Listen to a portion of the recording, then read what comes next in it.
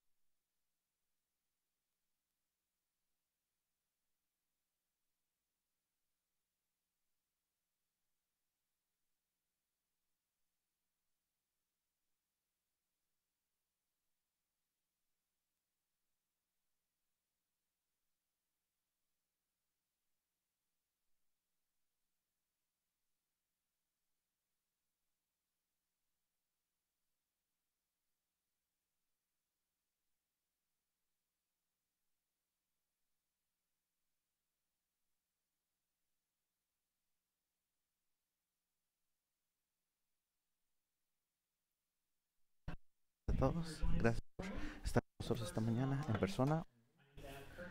Soy Adam Kirkton, soy uno de los ancianos aquí. El pastor John está celebrando el cumpleaños de su hijo Sam y esperamos que tengan y algunos avisos. Pero si han estado aquí antes o eh, son nuevos, pueden conectar con la iglesia y poner un texto para que sepamos que están con nosotros. Eh, o pueden inscribirse o son eh, o vienen regularmente, por favor, eh, indíquenos y para que sepamos que estamos bien y podamos alcanzarlos y compartirles. El número es 724-453-4232. Lo pueden ver en su pantalla y pongan, manden un texto, por favor.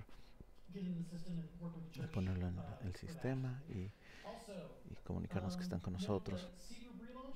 También vamos a tener un... Eh, si estuvieron en la reunión congregación la vez pasada, eh, vamos a tener el ministerio de nuestra iglesia. Es, queremos que todos se involucren en estudios bíblicos. Eh, entonces, Darren va a estar afuera eh, para responder cualquier pregunta y cualquiera que esté tenga pregunta pueden poner alcanzar esto consideren esto por favor son el ministerio de los grupos de célula es una buena oportunidad para todos por favor para aquellos que creen en la iglesia el comité de misiones eh, hacen cosas muy bonitas a través del año. Se están reuniendo de 7 a 8 y media de la noche. Cualquiera que está eh, interesado, que venga por favor, qué significa y cómo pueden involucrarse y enfocarse en algunas de las cosas. Es una buena oportunidad. Y van, ¿dónde van a estar? Las mujeres van a estar este reuniéndose para eh, tomar un, una cena juntas en abril 22 de 10 a 11 y media.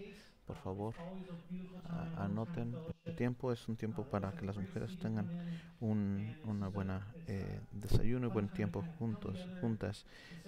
Eh, y el santuario es transformado cuando eh, pasa esto. Entonces yo lo eh, les recomiendo esto altamente. Vamos a ponernos de pie juntos y vamos a cantar nuestro eh, himno. Eh, Alma bendice al Señor.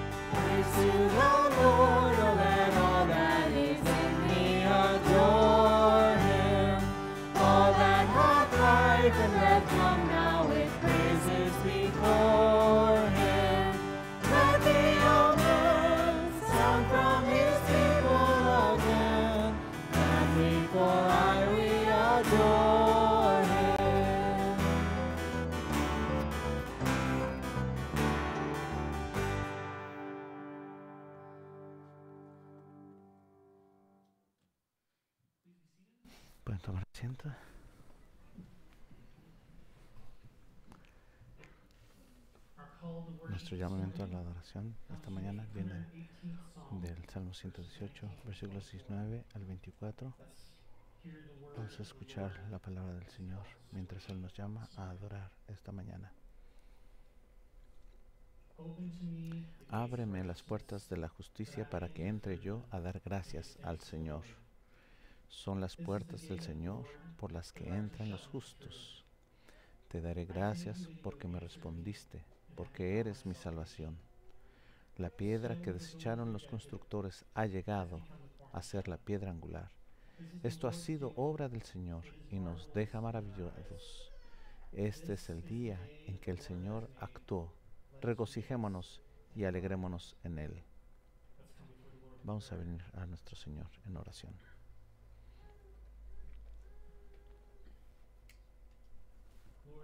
Señor, este es el día que tú has hecho y has hecho cada día mientras tú estás rigiendo tu creación en gloria y en poder, Señor. Nos da gozo que nos has traído para alabarte y levantamos nuestros corazones, nuestras voces esta mañana en gratitud por lo que has hecho por nosotros, para la gracia que nos has mostrado en la muerte de tu Hijo y la misericordia que nos has mostrado y nos has salvado. Y regresamos ante ti no solamente siguiendo tus mandatos pero haciéndolo con gozo. Oramos para que tú nos ayudes a servirte con corazones agradecidos con la bondad que tú nos has mostrado. Y venimos ante ti esta mañana ca- cantos y alabanza y adoración, que tú abras nuestros corazones y que sean luz y levantamos nuestras eh, preocupaciones y nos ayudes a enfocarnos en ti, que sintamos tu presencia entre nosotros y que nos des esperanza en medio de la preocupación y que nosotros podamos adorarte verdaderamente por lo que tú has hecho por nosotros. Y Señor, ahora, juntos como grupo, Oramos como tu Hijo nos enseñó a orar diciendo, Padre nuestro que estás en los cielos, santificado sea tu nombre.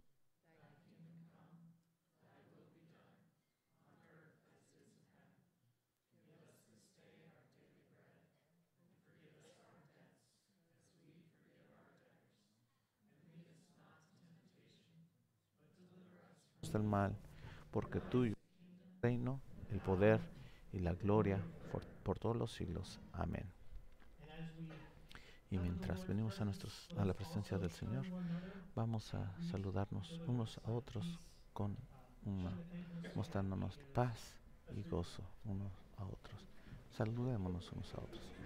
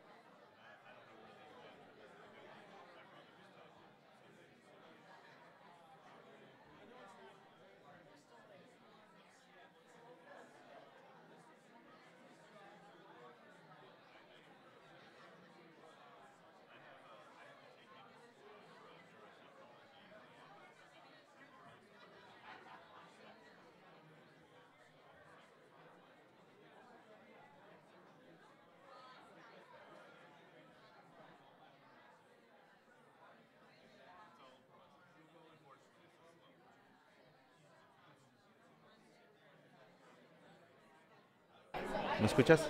Sí, ok. Probando, probando, uno, dos, tres. Luisito, ¿me escuchas? ¿Sí? Ok.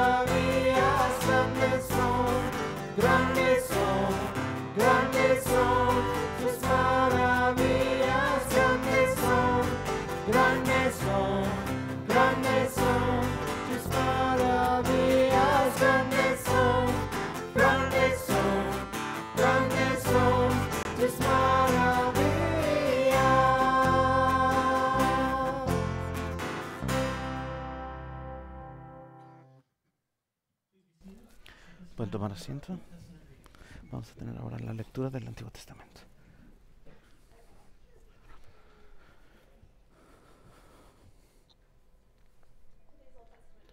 La lectura del Antiguo Testamento viene de Isaías 8, 11 al 17.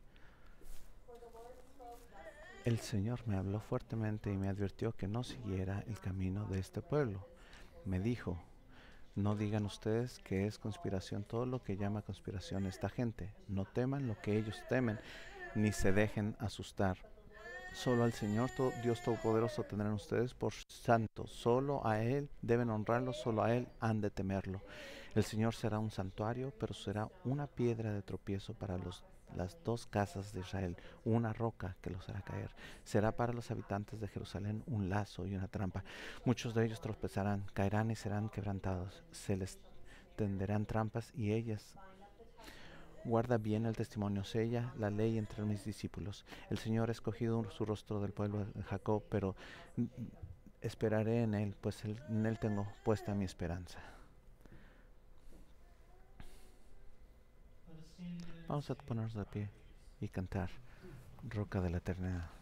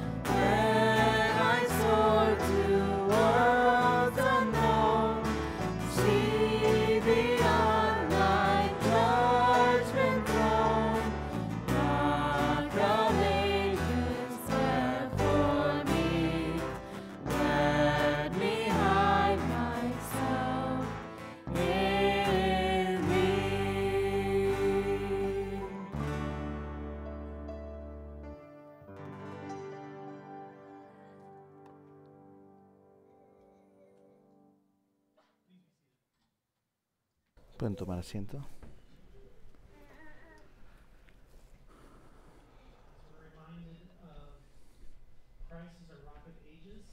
Recordamos que nuestro Señor es nuestra roca de la eternidad. Él murió por nosotros. Confesión de pecado. Reflexionando en las formas en que hemos eh, defraudado a nuestro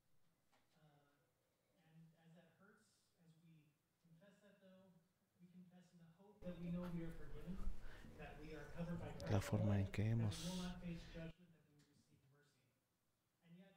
fallado y recibimos misericordia. Y el Señor nos llama a confesar nuestro pecado y nos recuerda ser humildes y no pensar que somos mejores y que no necesitamos a Dios y que podemos hacerlo solos, pero es un recordatorio de la humildad que tenemos y la necesidad que tenemos en Cristo y su gracia salvadora. Vengamos en un tiempo de, de confesión en silencio y yo voy a terminar una oración.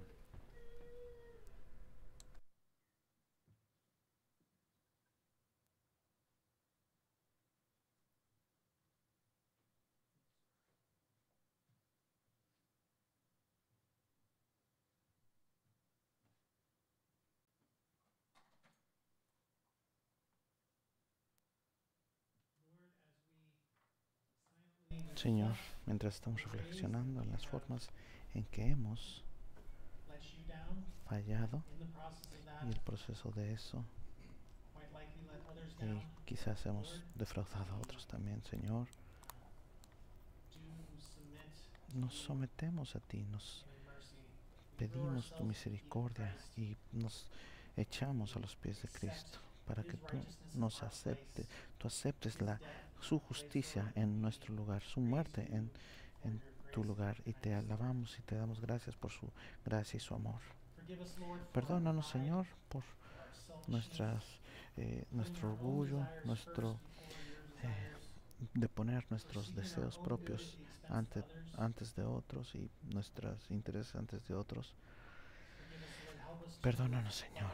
Ayúdanos, igual que Cristo se puso a Él mismo primero, puso a otros primero, para responder en humildad y para que eh, al darnos cuenta de cuánto nos has perdonado, que podamos perdonar a otros y la gracia que nos has dado, que la podamos dar a otros. Y te damos gracias, Señor, por tu perdón hacia nosotros y por tu perdón constante hacia nosotros. Gracias por, eh, por ayudarnos a sal- salvarnos y venimos ante ti confesando nuestro pecado y damos gracias por tu gracia y en Cristo Jesús oramos. Amén. Para aquellos que están en Cristo Jesús, el día que hemos sido salvados tus pecados son perdonados. Esa es la buena noticia de Cristo Jesús. La relación ha sido restaurada por medio del trabajo de Cristo. Y vamos a escuchar la seguridad del perdón de 1 de Pedro 2, 4 al 6. Cristo es la piedra viva, rechazada por los seres humanos, pero escogida y preciosa ante Dios al acercarse a Él. También ustedes son como piedras vivas con las cuales se está edificando una casa espiritual. De este modo llegarán a ser un santuario para ofrecer sacrificios espirituales que Dios acepta por medio de Jesucristo. Así dice la Escritura, miren que pongo en Sión una piedra principal, escogida y preciosa, y el que confíe en ella no será jamás defraudado. Ah, Damos gracias a Dios por estas buenas noticias. Y ya que hemos confesado nuestro pecado y el perdón de nuestros pecados, vamos a profesar nuestra fe hablando en voz alta como una congregación, como un grupo, explicando qué es lo que creemos, eh, la esperanza que tengamos. Y como cristianos, cristiano, ¿qué crees? Creo en Dios Padre Todopoderoso, cre- Creador del cielo y de la tierra, y en Jesucristo su único Hijo, nuestro Señor, quien fue concebido por el Espíritu Santo, nacido de la Virgen María, sufrió bajo, bajo Poncio Pilato, fue crucificado, muerto y sepultado. Descendió al infierno, al tercer día resucitó de entre los muertos, ascendió al cielo y se sentó a la diestra del Dios Padre Todopoderoso. Desde allí vendrá a juzgar a los vivos y a los muertos. Creo en el Espíritu Santo, la Santa Iglesia Universal, la comunión de los santos, el perdón de los pecados y la resurrección del cuerpo y la vida eterna. Amén. Amén. Verdaderamente. Y ahora venimos a un tiempo de dar nuestros diezmos y ofrendas. Hacemos esto como parte de nuestra adoración. Y si físicamente no dan en, la, en el plato, pueden hacerlo en línea. Pero estamos reflexionando en tanto que Dios nos ha dado, podemos regresar un poco, un poquito de lo mucho que nos bendice. Vamos a dar nuestro diezmos y ofrendas a nuestro Dios.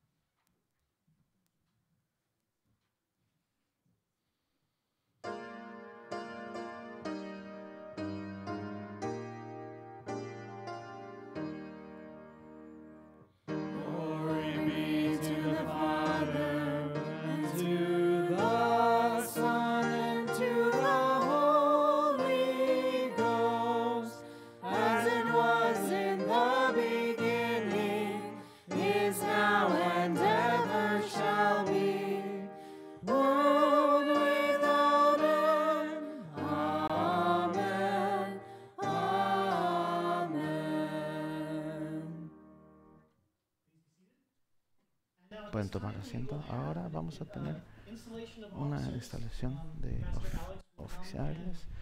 El pastor Alex va a dar los votos para los que están aquí. Dave y yo.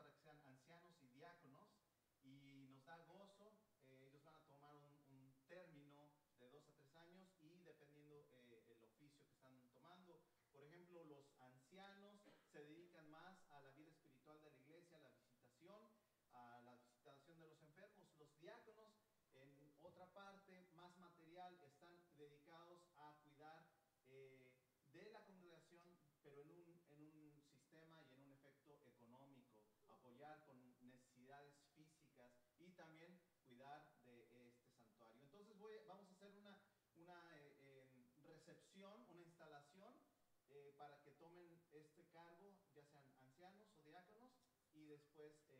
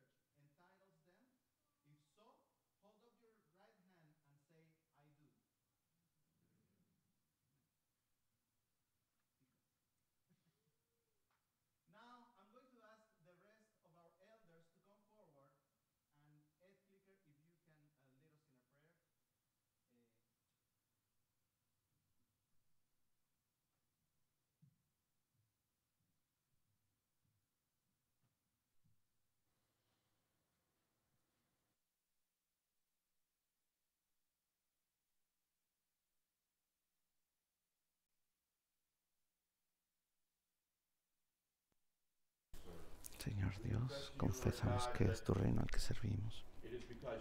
Y es porque tú nos has llamado a ti mismo. Y que es por eso que somos parte de eh, tu familia. Tú nos has llamado individualmente y has mandado líderes para servir en ese reino como pastores. Y pedimos, Señor, que tu be bendición sea, esté entre estos hombres, regresando al diaconado y spirit al, eh, a los ancianos y que nosotros podamos seguir su guía y que sus ojos estén en ti, Señor, sus corazones estén para ti y sus corazones estén para esta iglesia. Oramos esto, oramos bendición y pedimos, conociendo tus promesas y pedimos estas cosas en nombre. Amén.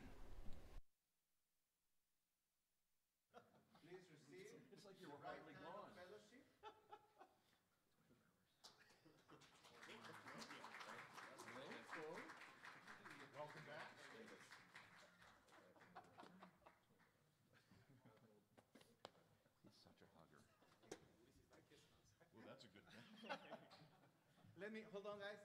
Let me pronounce.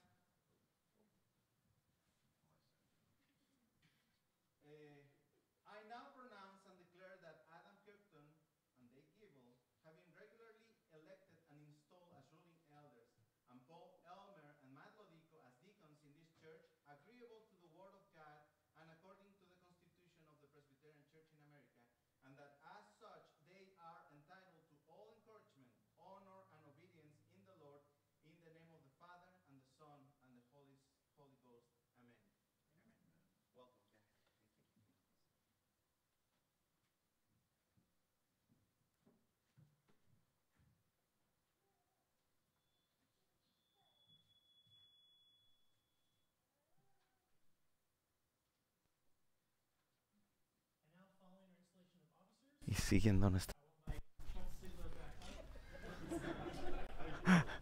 Sigler instalación, no voy a pedirle al anciano Chuck Ziegler que siga con la oración de, para el pueblo.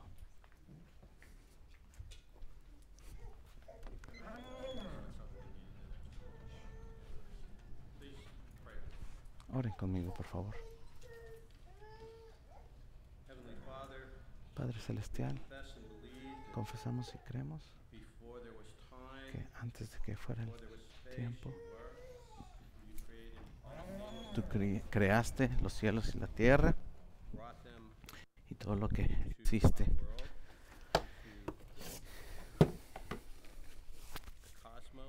Y, y vimos, viste que todo era bueno. Y sabemos que tú eres el creador de todas las cosas. Y que tú nos cuidas, Señor. Y conoces nuestras necesidades. Conoces nuestros corazones. Así que, Señor, eh, a pesar de que, como podemos ver, algunos eh, problemas y preocupaciones, ayúdanos a voltear nuestros ojos y corazones a ti, nuestro Señor y Salvador, aquel que creó todas las cosas.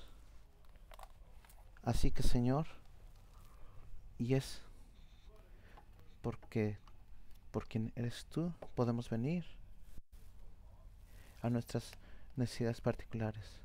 Ayúdanos, Señor. Y pedimos eh, por Brenda Jested que eh, ah, por Rowan que va a recibir una cirugía y que todo le vaya bien. Pedimos para que su familia no esté ansiosa en esta cirugía y los ponemos en tus manos. Pedimos que también estés con Roddy y Becky Cutman y que están sirviendo el ministerio para sordos en Pittsburgh, que los uses y traigas el Evangelio de Cristo a sus vidas, a la vida de Pittsburgh. Y tú eres el creador y Señor de todas las cosas.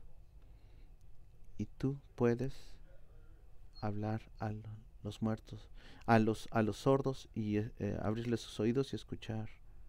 Oramos para que puedan eh, establecer una iglesia para los sordomudos en, ah, en área eh, de Pittsburgh. Oramos por Alex y Stephanie.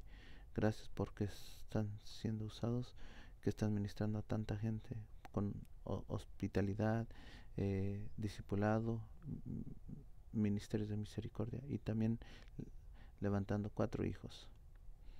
Oramos también para que muchos de los estudiantes que están viniendo a estudiar inglés como segunda lengua de muchos países representados, pedimos que tú estés con el equipo de eh, inglés como segunda lengua para que puedan cre- crecer en habilidades para eh, crecer como amigos y, y predicar el Evangelio. Pedimos, Señor, que tú abras sus ojos para que ellos te puedan ver. Obr- abre sus oídos para que puedan conocerte y recibirte en sus corazones. También vemos las necesidades alrededor del mundo, especialmente oramos por la gente en Ucrania y que tú continúes y oramos por las iglesias, por la devastación que existe allí y oramos por el trabajo especial de tu espíritu. Pedimos que tú estés con el pueblo, con la gente que ve sus casas destruidas completamente, sus, eh, su ciudad completamente destruida. Pedimos para que Rusia quite las armas ya, que ya eh, renuncie a la guerra. Y pedimos por los cristianos en Rusia, sus voces que sean eh, escuchados para que la guerra termine pronto. Señor, hasta eh, ha sido, ha habido gente, rumores de, de guerra y estés con nosotros, Señor.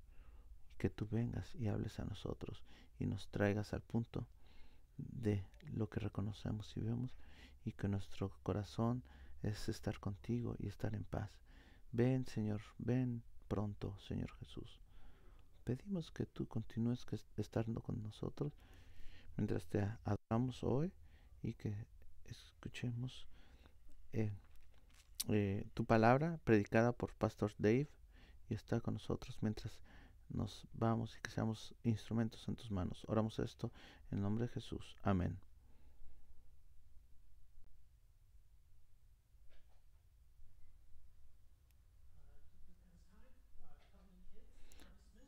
Los niños eh, pueden salir a su clase y si eh, piensan que sus hijos van a beneficiarse, por favor, ah, hay notas para que si quieren quedarse pueden tomar unas hojitas para tomar notas y eh, vamos a darle la bienvenida al pastor David que va a traer la palabra de Dios esta mañana. Muchas gracias, buenos días. Me da gusto, gozo y gusto estar con nosotros para este apoyar eh, con la seguir en la serie de Lucas y recordamos la semana pasada el, la pasión el viernes la crucifixión por la seguida por la resurrección. Así que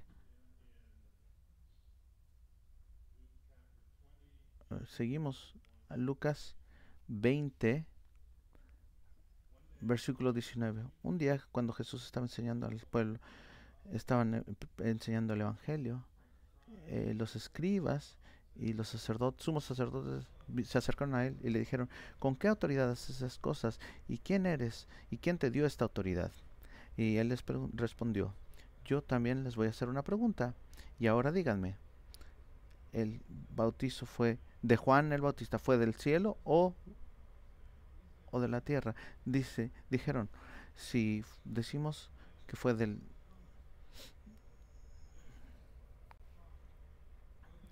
Y ellos respondieron que ellos no sabían dónde había venido. Y Jesús les dijo a ellos, ni tampoco les voy a decir yo por qué autoridad yo hago estas cosas. Y empezó a decirle a la gente esta parábola. Un hombre eh, un hombre plantó un viñedo y cuando fue el tiempo le dijo al siervo para que le diera un poco del fruto del viñedo y los y luego mandó a otro siervo y también lo maltra- maltrataron y le mandaron eh, con manos vacías y luego lo lastimaron y lo echaron fuera también. Y luego el señor del viñedo dijo, ¿qué voy a hacer? Voy a sentar, mandar a mi hijo, quizás a él lo, respe- lo respeten. Y dijo, vamos a matarlo, dijeron los siervos, y quizás ganemos. ¿Y qué hará el, el- dueño del viñedo cuando regresa? Él va a venir y va a darle la viñeda a- el viñedo a otros. Cuando escucharon esto, dijeron, y él dijo, ¿cómo quisiera que hoy supieras lo que te puede traer paz? Lo que ha sido el, la roca angular ha sido echada y despreciada, y todos van a ser, y lo que cae en ellos lo van a destrozar. Vamos a orar. Señor Padre, gracias damos por tu palabra infalible y por este día. Esto, en nombre de Jesús. Amén. Esta mañana el tema es la autoridad. Has estado, for- has sido forzado hacer algo que que alguien tiene autoridad sobre ti y que no quieres hacer y lo tuviste que hacer, no importa qué tanto lo odiaste o a un punto eh, lo tuviste que hacer. Y los niños dicen sí nos ha pasado siempre verdad yo me acuerdo muchos de esos sentimientos creciendo pero ustedes van a crecer van a encontrar que mucho fue para tu propio bien y tu protección y como adultos podemos sentirnos eh, igual verdad pa- pagar impuestos o cosas que nos dicen en el trabajo por nuestros jefes están en autoridad sobre nosotros y tenemos que hacerlo y nos irrita y nos da mucho enojo muchas veces. O quizás cosas como imna donei imminent domain o eh, dominio eh, dominio inmediato cuando el gobierno te quita tu propiedad sin que tú estés de acuerdo.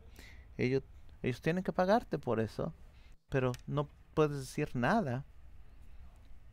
Dominio inminente. Nosotros teníamos una propiedad, una vez llegó una carta de la ciudad y, dijeron, vamos a, a construir un, un camino aquí y entonces lo... Y si escogían el número 2, a nosotros nos iban a, a cortar nuestro terreno de atrás y se nos, nos estaban advirtiendo que si eso pasaba nos iban a iban a tomar nuestra casa o sea que le iban a destruir. Y dijeron no tiene ni cinco años cómo significa oh lo siento esto es el, el dominio propio no tienes este no tienes autoridad y nosotros sí tenemos autoridad sobre ti y luego escogieron otra eh, gracias a Dios escogieron otro lugar. Y cuando nos mu- mudamos aquí eh, nos mu- mudamos a una comunidad un, eh, de em, trailers. Entonces estábamos había este el, teníamos un parque pero el parque eh, dijeron en el parque dijeron van a poner un camino otra vez así que no no van a no van a poder construir un parque cuando firmamos el contrato reconocimos la autoridad y en la historia es que no hay parque más, peor, peor que eso, pe- pe- peor que un, parque o, o algo construido ahí, el gobierno federal decidió que tú consideras modural, moralmente malo o, o malvado y ellos dicen que sí es bueno y, y tú tienes que afirmarlo con tus impuestos. Todo esto para decir que la autoridad es una cosa muy poderosa y combina dos cosas. Una, la habilidad de hacer muchas cosas, igual que el derecho de hacerlo. Hacer lo que quieres. Y cuando es unilateral, es no para. Y algunas veces eres sujeto a este poder.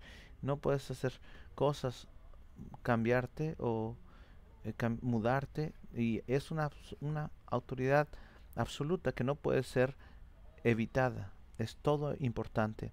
Y cuando la pe- persona tiene una au- autoridad absoluta y es co- consuela y, y- es buena y cu- cuando es malvada es devastadora. Y el pas- pasaje de hoy hay dos eh, pueblos en conflicto, ¿verdad? Ah, un edificio eh, que es el ministerio de Jesús, ¿verdad? A, a- en Génesis 3, en el jardín del Edén, y dice que Dios puso enemistad entre, y, eh, entre Satanás y Jesús, ¿verdad? Significa que su descendencia, pero se está refiriendo a Jesús. Y eso ha sido estado construyendo en- por miles de años y viene a una confrontación pública del texto. En Génesis 3 dice que Dios va, este, Satanás va a lastimarle en el calcañar cuando eh, eh, Cristo estuvo en la cruz, ¿verdad? Pero Dios dice que Jesús va a aplastar la cabeza de Satanás, o sea que le va a hacer una herida mortal y eso fue tres días después en el domingo de resurrección. Este conflicto entre los líderes religiosos de Israel, el edificio ahora está construyéndose y está levantado y una y otra vez está eh, diciendo que él es el Mesías y y muchas veces está confrontando a los hipócritas, a los re- eh, a los eh, señores de la ley, a los y los líderes no están eh, de acuerdo con esto, no están acostumbrados a esto y ellos siempre están citando otros rabinos, pero Jesús está él tiene la autoridad para perdonar pecados y salvar para salvar al enfermo y autoridad sobre el infierno y demonios él tiene la autoridad entre la muerte y la vida. Y pero lo más reciente es que él ha entrado a Jerusalén y un burro está diciendo Zacarías 9:9 y aún ayer ha limpiado el templo de los mercaderes que están están vendiendo estos animales para el sacrificio. Y en nuestro texto él está enseñando y predicando en su propio territorio. Y él está viendo directamente al centro de su negocio y la influencia y está tomando su lugar en la casa de su padre como lo iba a hacer aquí en el mismo lugar que cuando tenía 12 y las multitudes no pueden tener suficiente y los líderes están súper enojados y que no pueden estar contenidos y dicen esto es suficiente este esta es persona que no ignorante que no no ha estudiado con nosotros fuera se tiene que ir. No importa lo que lo que tome. Y parece que vamos a tener que asesinarlo. Entonces mirando un poco más cerca al texto en versículo 1 dice un día Jesús estaba enseñando y predicando en ese en el templo. Era probablemente martes y algunos estudiosos John MacArthur y otros dicen que era el eh, quiz- era miércoles, pero este pu- pudo haber sido su último día oficial trabajando, ¿verdad? Según necesito hacer un comentario.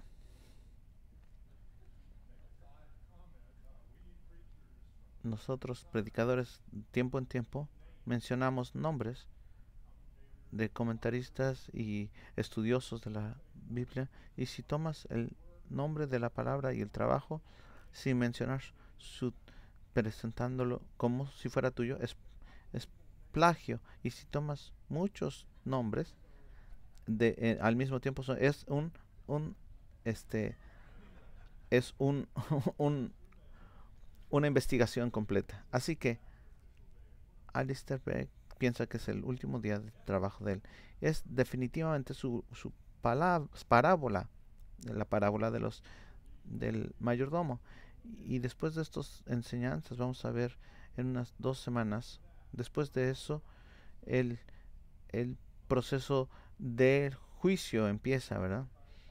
Y yo me retiré hace cinco años y mi último día en la iglesia eh, fue comiendo pastel y empacando mis últimas cosas con mucha gente muy bonita y muy linda y hacían, decían las cosas que se, se supone que tenían que ser. Pero Jesús hizo lo que él estaba enseñando y predicando, siempre predicando el Evangelio, compartiendo las buenas noticias, perdonando el pecado y dando la justicia que no se había ganado a la gente por solamente por fe. Y él estaba hablando a eh, hablando a él. Un comentarista dice que el área completa fue era el tamaño de cuatro campos de, de fútbol americano. Y él buscaba delegados. Y en el Sanedrín era- había una delegación. Y eran tres grupos que lo encontraron y dijeron y vinieron a él. Quiere decir que vinieron directamente a él y quizás mm, rudamente y está enseñando y predicando y, eh, y dicen, bueno, a ver qué, qué estás haciendo. Y él lo interrumpen en su enseñanza, en medio de su enseñanza, porque ellos están con una misión. Y hay tres partes en la delegación. El sumo sacerdote eh, eh, significa que el sumo sacerdote está ahí mismo, igual que él, el su- sumo sacerdote anterior, los más grandes ahí, y luego los escribas, que, eran teólogos, y luego los que tienen los documentos que para apoya, y luego los ancianos, que eran los administradores del templo, los líderes administradores del templo. La cosa que vimos aquí en la instalación hoy, la cosa más cercana fue una comisión del presbiterio. La cosa quizás más cercana que vamos a tener a lo que pasó aquí en una comisión del presbiterio. Un comité, no, un comité puede ir y obtener la información y reportarla de regreso al presbiterio. Pero una comisión, lo que vimos aquí, es, tiene más poder y, y regresa y actúa en el punto de con la- el mismo peso o con peso completo en la autoridad del presbiterio. Así que está, aquí está Jesús que nunca ha mencionado a nadie y no fue ordenado por nadie. Así como y actuando como si él tuviera estuviera a cargo. Jesús no le preguntó a nadie si estaba bien has- hacer un y, voltear las mesas y echar los eh, los ladrones del templo. eh, quien era obviamente obviamente no está preguntando, ¿verdad? Tampoco pidió permiso para agarrar el, el burrito. Si los eh, dueños del burrito pregunta, tú les dice, el Señor lo necesita. Y aparentemente aquellos que estaban eh, con la autoridad atrás de él es por eso, ¿verdad? Él, esto es algo increíblemente malo que creen los, los líderes. Los, los líderes están enojados con él porque están, está aplastando todo el sistema. Jesús dice, usted, ah, esto no importa, yo tengo el poder.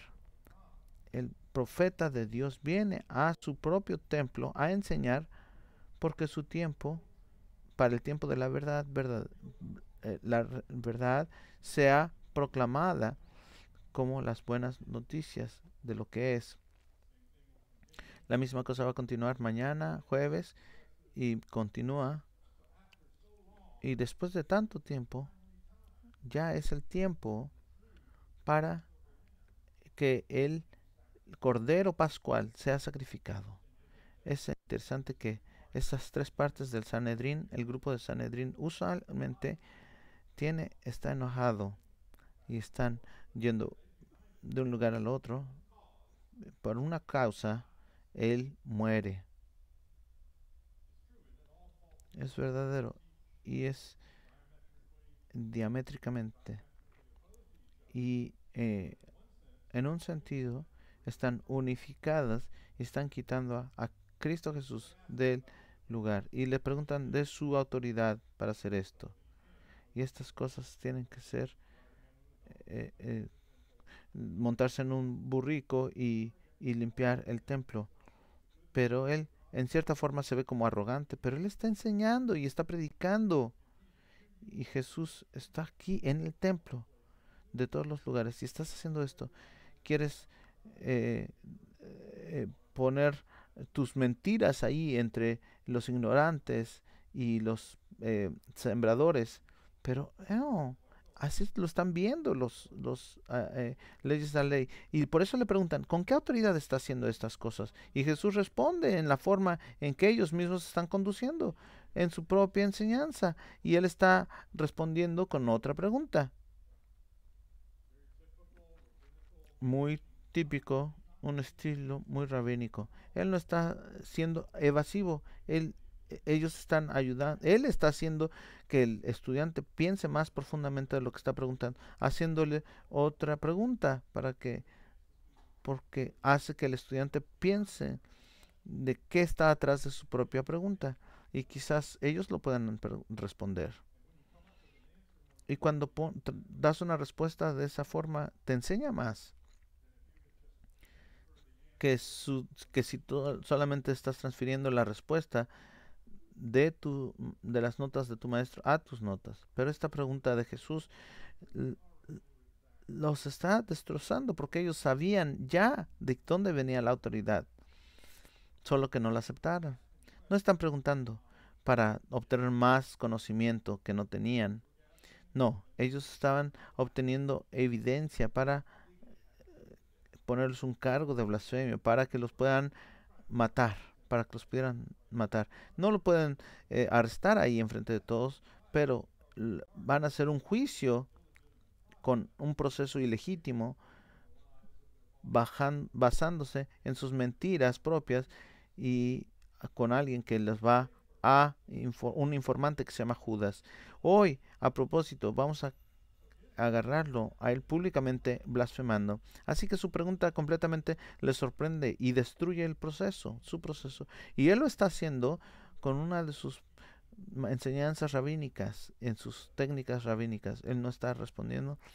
Y él, en vez de eso, está exponiendo su hipocresía profunda. Y dice, ustedes respondan, si yo respondo, si ustedes responden la mía. Y entonces voy a divulgar completamente si ustedes hacen lo mismo. El bautizo de John, ¿de dónde fue? ¿Del, ¿Del cielo o del hombre? ¿De Dios o no de Dios? ¿Qué dicen ustedes? ¿Qué tipo de bautismo fue? ¿Fue un, un rito judío o fue de arrepentimiento verdadero? Y en, en, el, en la pregunta, no es solamente el bautismo mismo, pero Juan está llevando su propio ministerio. Prepárense a mí. Yo soy el, el, el, el, la oveja del sacrificio. ¿Este fue de Dios? ¿Soy el Mesías yo? ¿O fue de algo que el hombre empezó por alguna otra razón? Y los líderes están ya en problemas ahora. En versículo 5 dicen, mm, ¿puedes esperar tantito? Tenemos, tenemos que, que eh, tener una pequeña reunión rápida. Jesús dice, claro, aquí espero, no voy a ir a ningún lado. Me hubiera encantado un video. ¿No les gustaría tener un video y un audio de ese pequeño, eh, esa pequeña reunión? Estás ahí y, y bien, dice, ah, eso fue bien, y Josafat dice, yo te dije que era una pregunta muy tonta de la autoridad. Ok, ¿cuál es tu idea, tu gran idea ahora? A veces en el salón de clases lo han estudiado, lo has visto como un estudiante dice, perdón, este profesor, esta es quizás una pregunta estúpida. Y el, y el maestro dice, no, no, no, no, pregunta, no hay, no hay preguntas estúpidas. Ellos tienen al Hijo de Dios y su autoridad. Bueno, ellos están eh, discutiendo el problema, ¿verdad? Pero yo creo que realmente ellos querían decir del hombre, porque por lo menos eh, como en la superficie hubieran expuesto a Juan y a Jesús como fraudes, pero van, bueno, no, no, el hombre no va, pero si admitimos que era de Dios, entonces ellos iban a ser expo- eh, eh, eh, expuestos, ¿verdad? Así que ellos están eh, estarían exponiendo su sistema completo. Si decimos una u otra, si es de Dios, entonces eh, va a ser la pregunta. Entonces, ¿por qué quieren oponerse a Dios si es de Dios, verdad? Ahora, ¿y ustedes por qué no se bautizaron con Juan si dicen que era de Dios? Pero no, ellos no lo hicieron. Entonces, ¿por qué no? ¿Por qué te sorprendes si yo estoy limpiando eh, el templo con estos ladrones, verdad? Y literalmente y espiritualmente. Y si dice, ustedes, de- ¿por qué preguntan que yo estoy, con qué autoridad estoy limpiando el templo? Y los líderes dicen, sí, bueno, vamos de regreso con nuestra primera eh, del hombre y vamos a intentarlo a ver si decimos Juan no era de Dios y que era eh, de- del hombre, entonces la gente nos va a apedrear porque ellos saben la verdad, porque Jesús puede seguir eh, eh, apedrear a Jesús, pero ¿por qué o por cómo? Y la gente conoce que por alguna razón sí es de Dios y si decimos que no era de Dios cuando era, entonces nosotros vamos a ser culpables. El- y, y, y ves la razón por la cual estamos aquí para agarrar a Jesús y no a nosotros, entonces se puede voltear y que no podemos nosotros sobrevivir. Y por alguna otra razón en su pequeño grupo la gente está pensando y están citando pas- pasajes como Éxodo 17.4 y Números 14.10. Aquellos son los ejemplos donde la, eh, que la gente decía que eran profetas de Dios y no eran profetas de Dios y deben de ser apedreados. Es en el Antiguo Testamento. Y la razón aquí que dice, somos nosotros. Si que decimos que el ministerio de Juan no fue Dios, entonces la gente nos puede apedrear a nosotros. El líder, los líderes están completamente atorados y no pueden decir la verdad en, en, ninguno de los casos. Así que se enfocan en lo que están viendo en las noticias de la tarde dicen los gobernantes, los líderes, dicen no, no recuerdan y no saben. Y ahora, hoy en día, decimos la quinta enmienda, no tienes que responder la pregunta si tu pregunta y si la respuesta te incrimina. Y otros tienen que ser los que te están incriminando a ti. Así que, ¿sí? Este es la el significado que lo está pasando aquí, que está pasando aquí. tenemos la, la verdad, tenemos todos los eh, eh, líderes espirituales de Israel, aquí en la gente que está buscando la verdad de Dios con sus preguntas profundas de Dios en la vida y quieren escoger la, la respuesta, pero también tenemos a los líderes escogiendo mentir y, guiar mal a otros para solamente para no perder control y poder. No. Y, y, y, y por eso Jesús les llama un nido de víboras, ¿verdad? O, o tumbas blanqueadas. Entonces aquí tenemos al sargento Schultz, a los héroes de eh, Huggins. Dicen, dice uno, no sé nada, si no saben quién es, pregúntale a sus papás o sus abuelos. Jesús está diciendo, si no sabes qué autoridad viene, de dónde viene. Entonces no puedes tenerla a ti tú mismo. Si no puedes decir la diferencia o ver la diferencia entre un profeta y un hombre, ¿cómo puedes ser, cómo puedes llamar al Hijo de Dios? eh? Así que alguien vino y somos agnósticos. Y Jesús les dijo a ellos, entonces yo te voy a dar la misma respuesta que tú me diste. Yo tampoco te voy a responder tampoco. Y si pensamos, este es un momento muy, muy impactante. Jesús está diciendo, no tengo más que decirles a ustedes. Ya, terminamos. Estas son las perlas delante de los puercos en Mateo 7:6. No le des a los perros lo que es santo y no eches tus perlas ante los puercos, porque ellos se van a caer y van a voltearse y atacarte. No, no ofrezcas algo valioso a alguien que no entiende su valor. Es una imagen eh, humorística, humorística, pero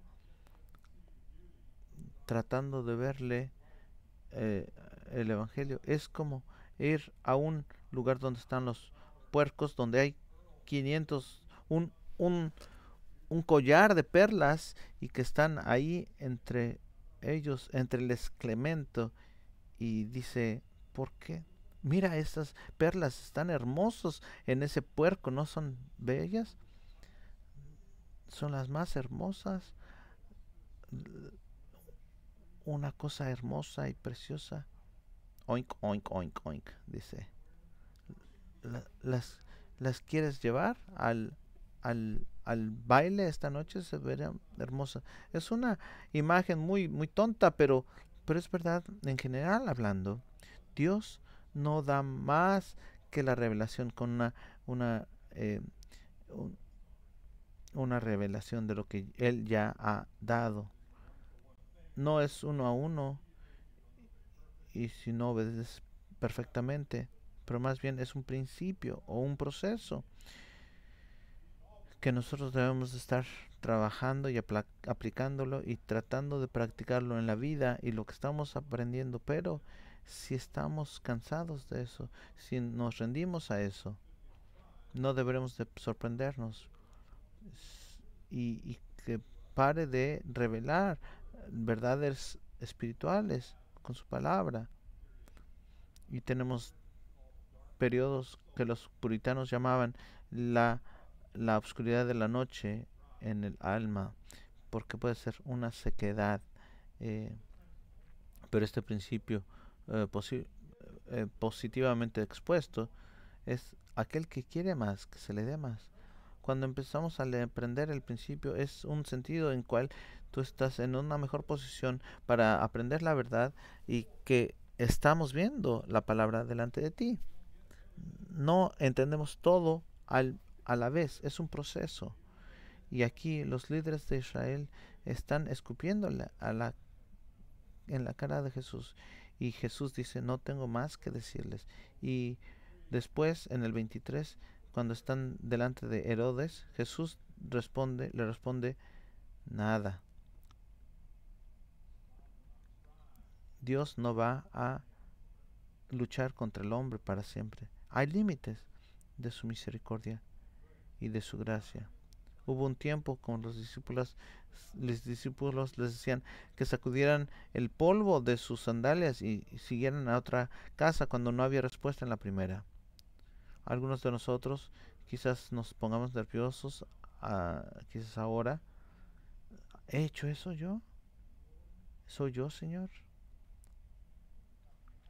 ¿Me vas a cortar? ¿Me vas a echar? ¿Me vas a sacar?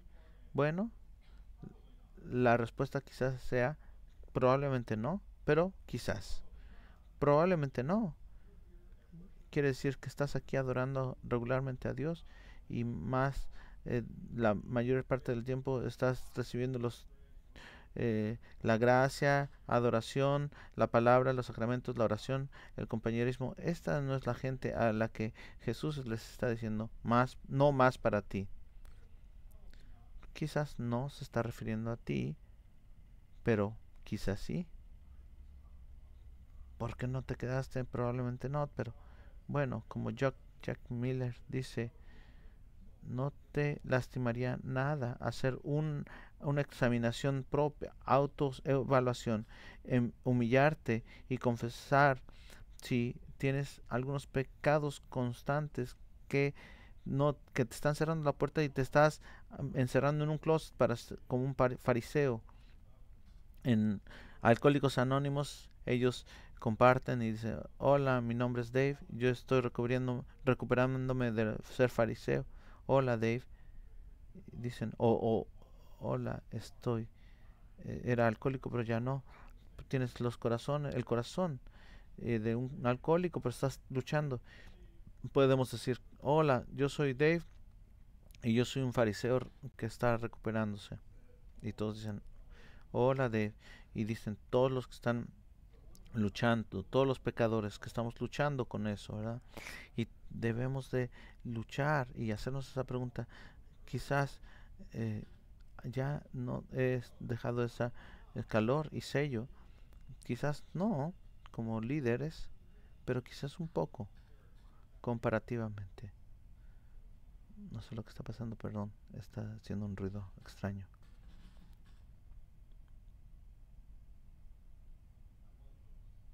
Ah, estaba, estaba flojo, perdón. Vamos a intentar eso. Y Jesús está diciendo, no más para ustedes. No, probable no para ti. Siempre hay lugar para eh, autoexaminación.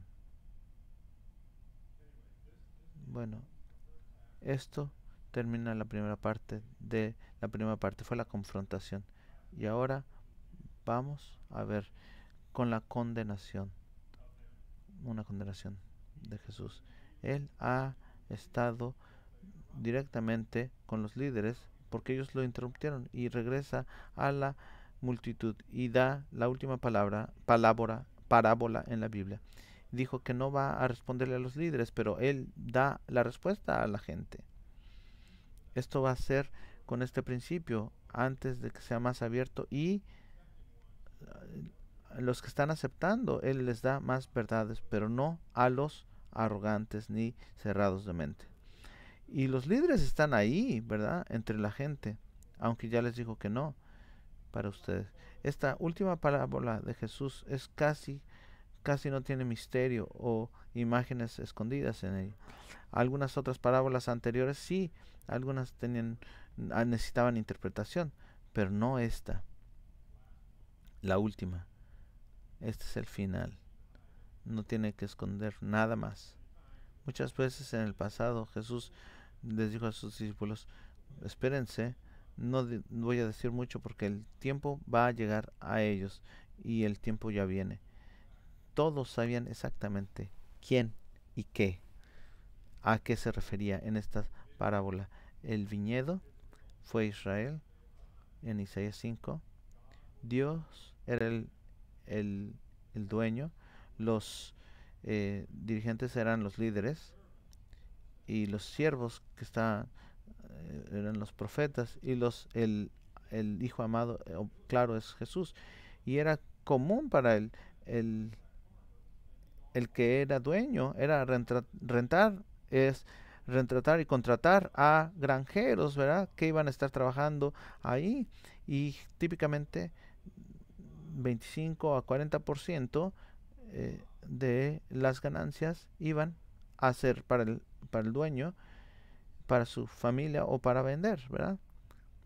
Y sabemos, eh, es común ahora eh, el- los plantíos, ¿verdad? Eh, pero así que todo parece ser normal y es esperado.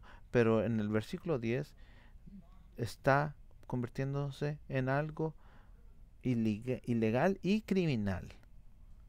Mateo está diciendo detalladamente que hubieron otros que fueron enviados, además de estos. Algunos fueron eh, eh, matados, asesinados. La gente está eh, en horror a lo que Jesús está diciendo. En versículo di- 13 dice, ¿qué debo de hacer? La implicación es clara. ¿Qué está, estás bromeando? ¿Qué debes de hacer? ¿No es obvio? Pero el dueño dice, bueno, voy a enviar a mi hijo. Seguramente le van a dar a él el respeto que él merece y, tratarlo bien. Y quizás los siervos los trataron como, como esclavos, como animales, pero quizás despierten y vuelvan a sus sentidos cuando yo envíe a mi hijo. Pero antes de que el hijo tenga oportunidad de hablar, lo matan. Es un asesinato premeditado.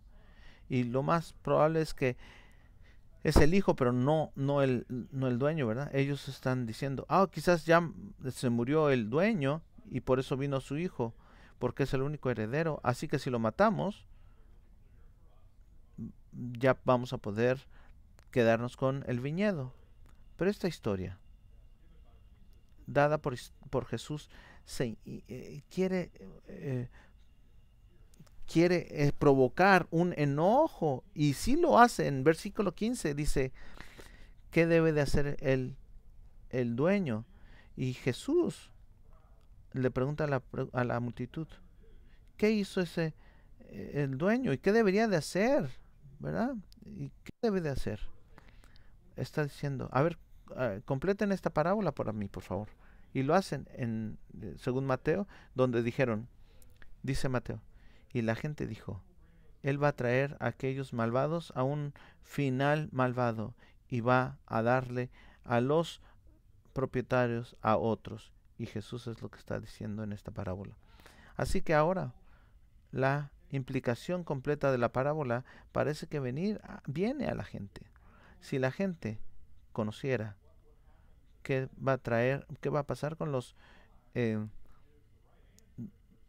renteros, qué va a pasar, la respuesta es no, definitivamente no. No deberían de haber eh, dicho sí, sí, vamos y, y no matado a Jesús. O, o, pero aquí está diciendo definitivamente no.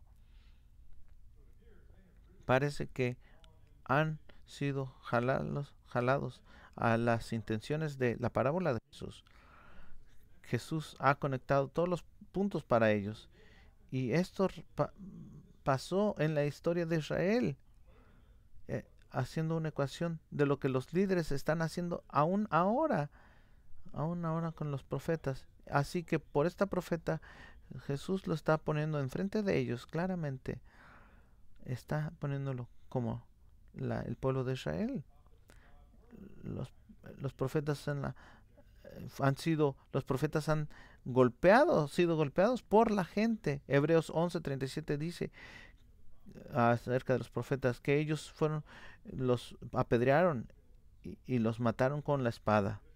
La tradición nos dice que Isaías fue echado y partido a la mitad como con una eh, eh, un- una sierra para madera y es la parábola y en efecto están unidos con sus pastores y líderes como aquellos que ahora continúan el curso y eventos y matan a Jesús, al verdadero Hijo.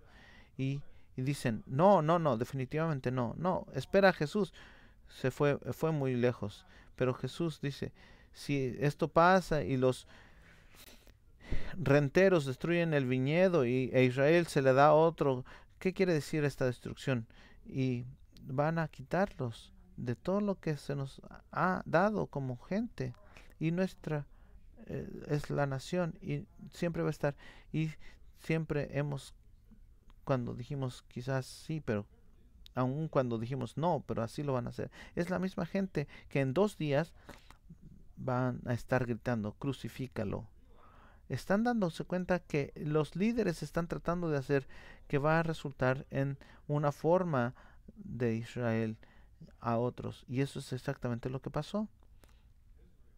Israel eh, renunció a su posición como el pueblo de Dios verdadero y se dio este privilegio a los gentiles. La parábola significa que estamos reconociendo a Jesús o sé maldito en otra opción. Si tú lo rechazas, se le va a dar a alguien más y tú vas a morir. Es importante entender esta última parte. Si rechazas a Jesús, no es solamente que Dios está diciendo, ok, intenté persuadirte, pero tú no, no, no te gustó eh, las mis opciones, así que puedes irte a otra religión eh, que, te ofrezcan algo, a- algo más bonito y, bueno, que na- nadie te haga daño y, como el Islam, el eh, budismo, el judaísmo, pero pero todos todos resultan al mismo, pero no, no, no, no. Jesús está diciendo, vas a ser destruido. No puedes ir a otra parte, vas a ser destrozado como los renteros aquí en este lugar y como estos líderes eh, parados junto a ti. Vamos a, a echar un salto grande. John Lennon estaba mal cuando dijo, imagina. Eh, ¿Recuerdan estas palabras? Imagina que no hay cielo. Es fácil si lo intentas. No hay infierno abajo de nosotros. Solo arriba de nosotros hay un cielo. Imagina a toda la gente viviendo hoy. Imagínate que no hay países si no es difícil hacerlo. Nada de matar, matar o morir. O no hay religión tampoco. Compartí esto con un amigo en nuestra iglesia y él dijo, gracias este, por arruinar mi eh, canción favorita de todos los tiempos. Y él dijo, nunca puse atención y yo lo cantaba. Y yo dije, de nada, él necesita ser arruinada. Este mensaje es, blasfemo. No hay religión, nada que vivir o morir. No hay infierno, solo el cielo hermoso. Regresando a nuestra historia, vemos que es posición tan drástica ti- tiene, ha tomado la gente y diciendo, no, seguramente no. En versículo 17, después de esto, dice, Jesús dice, y los está viendo directamente a ellos y les dice, si esto no pasa, es la respuesta de que los líderes van a eh, eh, ser echados matando al hijo. Entonces lo explica en el Salmo 118, 22. Dice, la piedra que los eh, constructores rechazaron ha sido la piedra angular. En la parábola del hijo, en la palabra de- del hijo está muerto, pero aquí está diciendo, bajo la inspiración de los salmistas, lo ha elevado ya toda, ya, al hacer la piedra angular. Y hay mucha. La parábola está diciendo, no, la parábola no es el fin de la historia. Recuerden la escritura, dice Jesús. La escritura es supremamente autoritativa. En Daniel 2 del sueño en que eh, la piedra va a bajar y destruye a un ídolo y que viene desde arriba y destruye el ídolo. En Salmo 118 habla acerca de una piedra angular. ¿Cómo funciona? Estuve involucrado en eh, construir un porche en, con un vecino y yo tengo que admitir que el, el la otra persona era, era el, la cabecilla del- de esta construcción. Y, y otra vez encontré, si no pones bien la fundación, la estructura va a estar mal en todas direcciones. Cuando la, el, el constructor en la Biblia, la piedra angular tiene que estar derecha en todas las dimensiones. eh, Este, em, aplanada en arriba, eh, recta en los lados y nivelada arriba. Y la palabra dice, si estás un poquito mal, esto va a hacerlo mal. Hoy puedes este, poner un poquito de, de madera alrededor, pero, pero imagínense, todos los que han rechazado la piedra angular y cómo se veía, imagínense, este, pulirla y darla en el sal.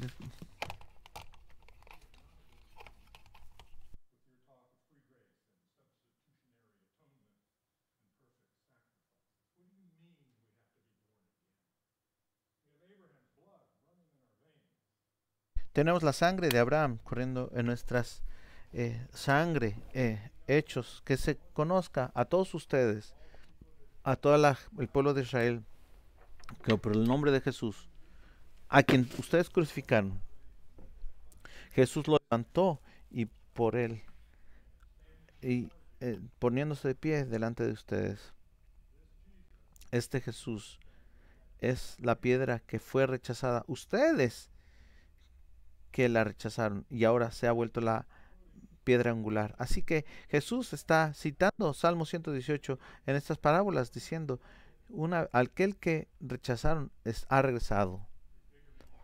Está prefigurando la resurrección. Él está poniéndose de pie enfrente de ti ahora en su templo. Él está cumpliendo el espacio.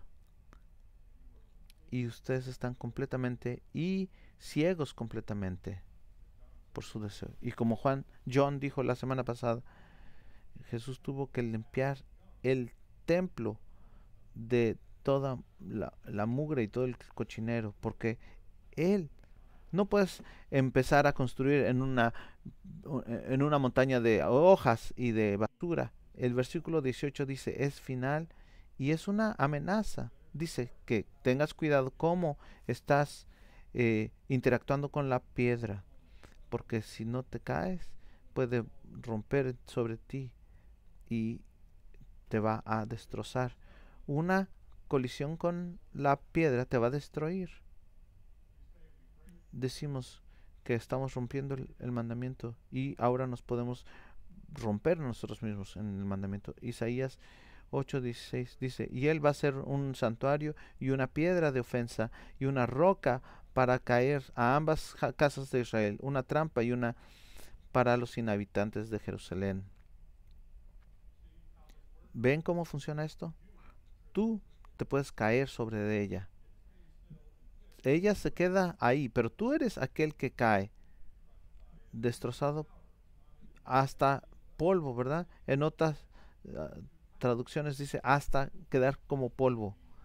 Ese es el, el, lo que significa ser aplastado, destrozado. No solamente te, te paras y, te quitas el polvo, no, ha sido destrozado hasta el polvo. Primera Pedro dice 2.8 dice una piedra de una, una, una piedra y una roca de ofensa que ellos cayeron porque desobedecieron la palabra y fueron destinados a hacerlo. Eh, dice que si una, una piedra cae en una, en una olla de barro, la, la olla se rompe. Pero si la olla cae sobre la piedra, se va a destrozar la olla. Entonces, ambos casos, la olla se va a destrozar. Si tienes una colisión, un choque con Jesús en esta forma, vas a ser pulverizado. No hay de otra, pero yo espero que ninguno de los que estamos aquí le pase esto. Esta es otra razón por la cual Jesús está llorando viendo Jerusalén. Aquellos que lo van a rechazar. Y Él está viendo a Jerusalén. Y está reconociendo que la mayoría van a ser destrozados. Y pensando en el último, el último versículo. Nuestra hija tiene una casa que lleva 100 años construida y hemos hecho cosas maravillosas y yo soy el, su constructor ahí, ¿verdad? Un proyecto fue eh, dos, a, tres, tres escalones de concreto que entrando a su casa ah, han, este, estaban desmoronando ya y eran y no eran a salvo así que yo ya había eh, este bueno yo lo hice, pero no podía tener uno estimado para hacer el concreto, el trabajo de concreto. Pero alguien lo hizo y, y, sí, yo, bueno, yo lo hice. Yo fui a Home Depot y compré muchas cosas y ya en la semana que lo hice, mucha gente paró y me quiso, me, me quisieron contratar por haberlo hecho también la gente me estaba contratando, contratando a alguien que nunca lo había hecho antes, imagínense. Entonces, estos este, hasta la fecha siguen todavía bien, pero eh, lo que yo aprendí que hay una diferencia, hay una diferencia entre el concreto y el cemento. y muchas veces lo usamos, muchas veces usan en Portland cemento en, con grava y cemento, para, con grava y arena para hacer el cemento es el polvo es la consistencia del talco que podemos ver en el piso. Nuestro pasaje con vers- versículo 18 dice, con la piedra de Cristo cae en cualquiera, va a destrozarlo y va a hacerlo polvo. En el Antiguo Testamento, alguien que es- está siendo aplastado, Isaías 53:10 dice, aún así la voluntad del Padre de Dios fue para aplastarlo a Jesús. Él, el Padre, puso al Hijo en dolor. Cuando su alma está haciendo una, una una ofrenda para la culpa, culpa, Él debe de ver a, a los al, al producto. Él va a prolongar sus días y Jesús Jesús cae a ti y Él te destroza en polvo y te lleva a tu arrepentimiento para eh, presentarse como una ofrenda. Y Jesús, es, Dios lo está usando para ap- aplastar y, aprovechar el, el que Cristo fue destrozado por ti. Su nombre, Él ha sido eh, destrozado para salvarte, para que tú no seas destrozado. Y somos tan, estamos tan agradecidos por la autoridad y la soberanía de Dios, de nuestro Dios. Y venimos a nuestro Cristo Jesús, nuestro Padre Celestial.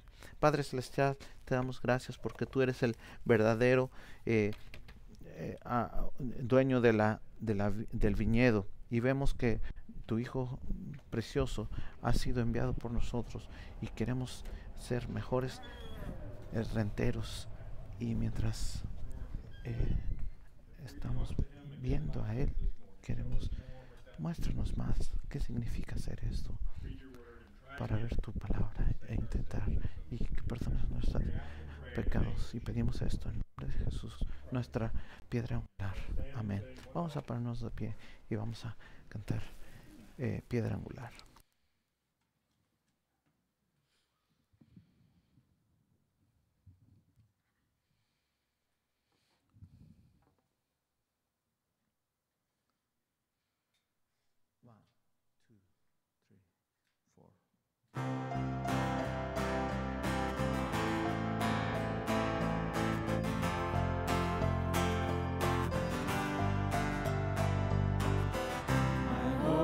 built on nothing less than Jesus' blood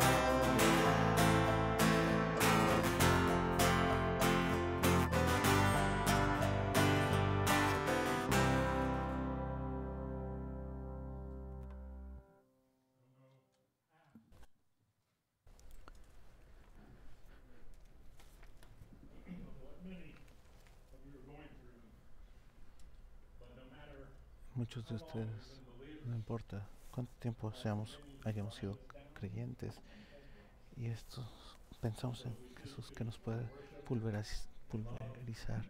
Y mientras servimos, alabamos y, servimos a otros, recordemos que Él, el dueño del viñedo, sigue usando ese mismo proceso para solidificarnos por su Hijo Jesús. De aquí a la eternidad. Aquellos que están en Cristo reciben la bendición de Revelación 1, de Apocalipsis 1. Gracias a ustedes y paz a Él, a Él, quien es y era y va a venir por medio de Jesús. Es el primer primogénito de la muerte y aquel que nos ama y nos ha liberado de nuestros pecados por su sangre y nos ha hecho un reino de a él sea la gloria en dominio por siempre y siempre. Y todo el pueblo de Dios dijo amén. Vayan en paz todos